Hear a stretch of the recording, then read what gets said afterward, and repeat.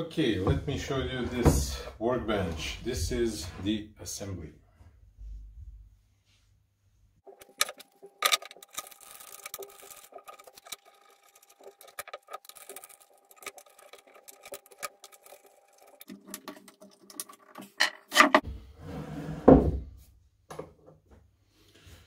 Okay, and this would uh, give you about, uh, I believe, uh,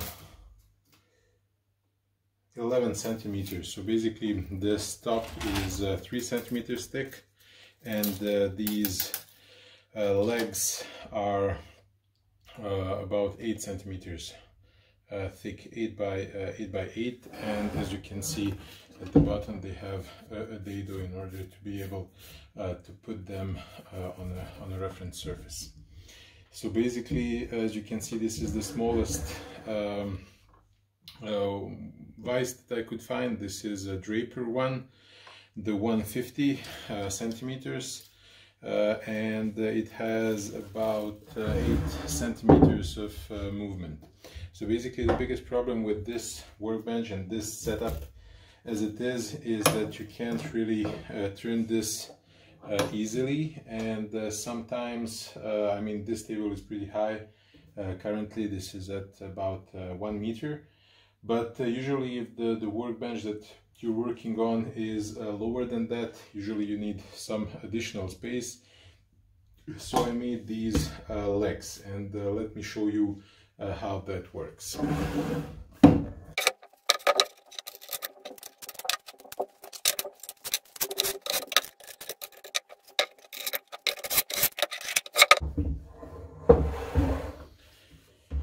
Basically now uh, you have a bench that is um, 25 and a half centimeters above the work surface. And uh, this can easily also be um, attached to the workbench uh, by putting some um, clamps over here. Uh, so basically you have uh, at least four options where to put uh, the where to put the, the, the, clamps. And now you can turn this uh, without any problem.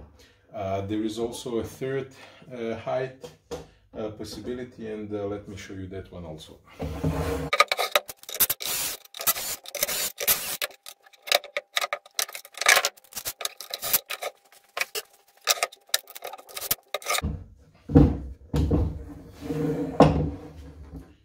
and uh, this is the third option and uh, with this one you are about um, 19 uh, centimeters so basically 25 uh, minus the minus the 8 uh, here uh, you have less possibilities to clamp but I guess that you could clamp it here here here and on the fourth side fourth side there. So basically as you can see this is a pretty simple build.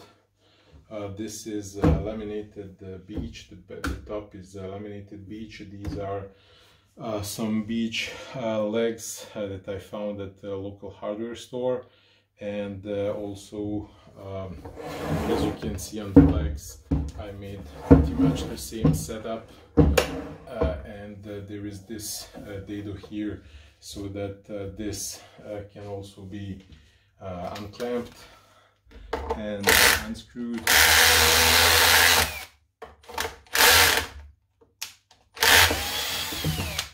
So basically even the legs can very easily be uh, disassembled. And basically these ones uh, looks uh, like I guess they look like bones.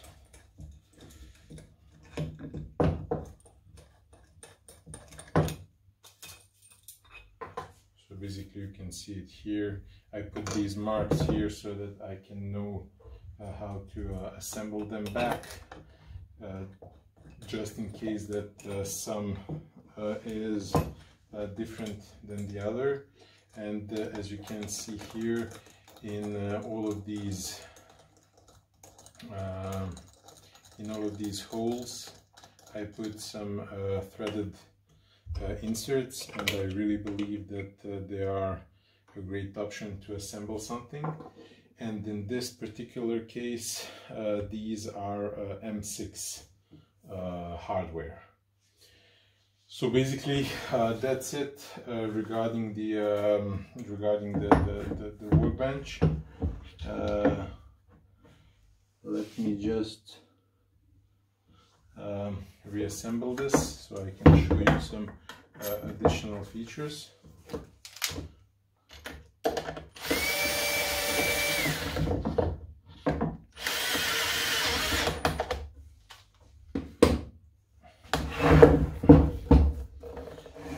this is a pretty heavy bench. Uh, basically, I didn't uh, weight it, but uh, I guess that uh, there is about, I guess, at least 20 to 25 uh, kilos. Uh, as for the dimensions, basically this is 30 by 65 and the jaws uh, the, the, the closer one is about 18 millimeters while uh, the other one is uh, 24 uh, millimeters and the, the one that is attached to the front front jaw is um, there is a leather padding inside so that once you clamp something it can hold hold a bit better.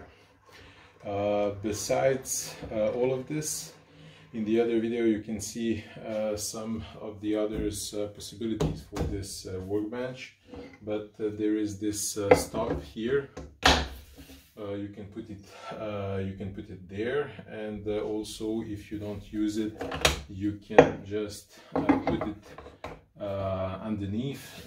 These holes are 20 millimeters. And uh, you can use uh, with these ones uh, these um, bench dogs.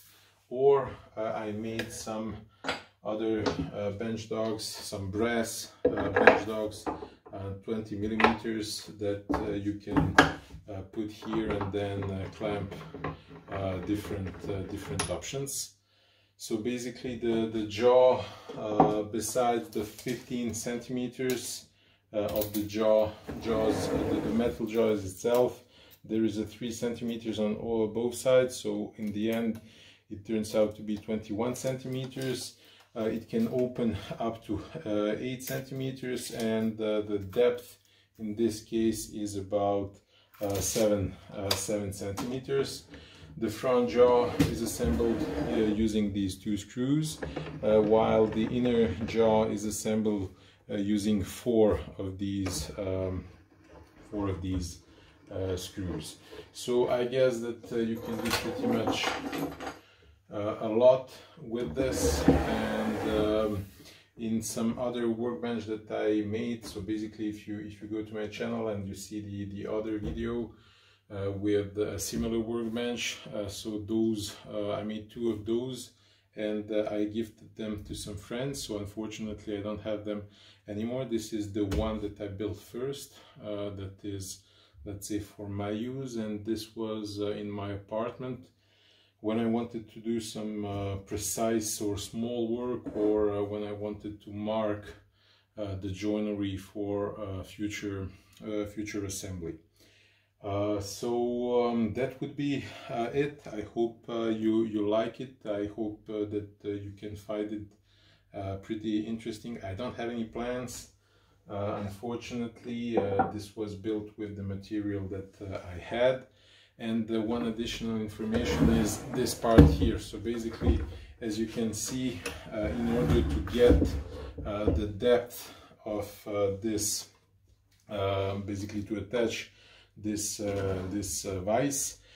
I had to uh, double up the, the, the work surface here. So initially this laminated beech piece was about 18 centimeters and I took these um, I believe I don't know exactly but about uh, 10 centimeters plus the 65 um, in order to make this uh, let's say reinforced part so that I could assemble uh, assemble the, the, the, bench vise and as you can see also here there are these uh, three holes uh, to accommodate the, the bench uh, screws and also the these uh, these bolts and uh, everything else. These are uh, wood bolts, uh, nothing uh, nothing spectacular. So um, I hope uh, that you will be able to make it. And let me just show you some of the possibilities of um, of this workbench and what I use it the most for.